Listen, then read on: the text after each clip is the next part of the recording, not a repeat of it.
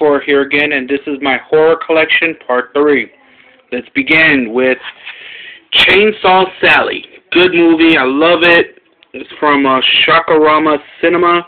I know that the series is done is being distributed by Troma, but this is a pretty good movie. I love um, how the killer is like this vigilante s chainsaw wielding maniac.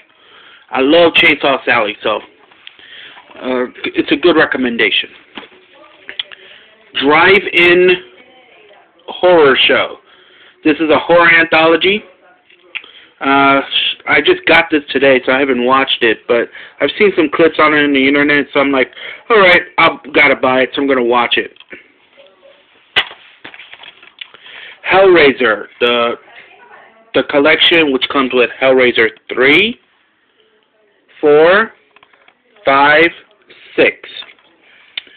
Uh, I did see these two, but um, these two, I had this one on VHS, and this one I've never seen, but uh, it's a, they're all good movies. I think they're way better than Hellraiser Revelation, so it's a good pickup.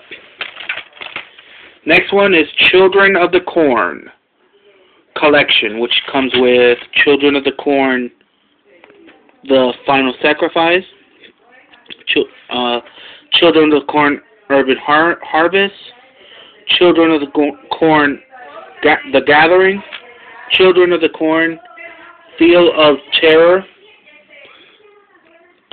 um, Children of the Corn Isaac's Return, and Children of the Corn Revelation. They're all pretty good movies. Uh, I'm not that much into Children of the Corn, but I did. I only bought this because I felt like, okay, uh, let me just try and watch some Children of the Corn movies before I bag it. So that's been my horror collection, part four. I mean, part three. I'm sorry. Sorry for that mix-up. And I can't wait to do more horror collections. This has been Red ZX4. I'm out.